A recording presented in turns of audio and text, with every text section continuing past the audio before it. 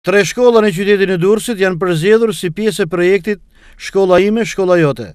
Projekt ky i mbështetur nga UNICEF dhe shoqata Amaro Drom, kundër diskriminimit dhe braktisjes së shkollës. Në shkollën nëntëvjeçare Kushtrimi i Lirisë së Durrësit, nxënësit kanë zhvilluar dhe një panair kushtuar pikërisht projektit në fjalë, Drejtuesa e këtij projekti, Valbona Sulçe, është shprehur se qëllimi i tij ka qenë krijimi i mjediseve gjithëpërfshirëse për nxënësit dhe ulja e numrit të nxënësve që mund të braktisin shkollën.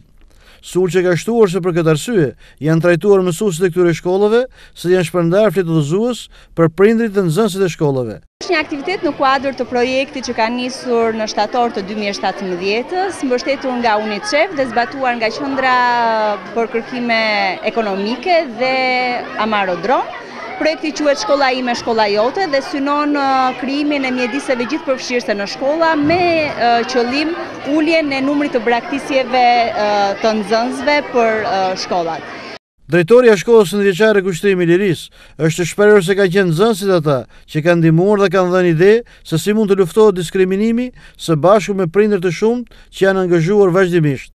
Shkolla jonë është përfshirë në projektin Shkolla ime, shkolla jote, një projekt i cili për ne ishte shumë domethënës, Në momentin e parë që ne e morëm, filluam të mendonim se për çfarë do të fliste projekti, filluam të diskutonim se cilat do të ishin rezultatet e këtij projekti dhe pamë që nxënësit ishin ata që na dhanë idetë ne, ishin nxënësit ata që filluan të na tregonin se çfarë ishte uh, kjo punë kaq e madhe, ishin nxënësit na tregonte se çfarë ishte dashuria për njëri-tjetrin.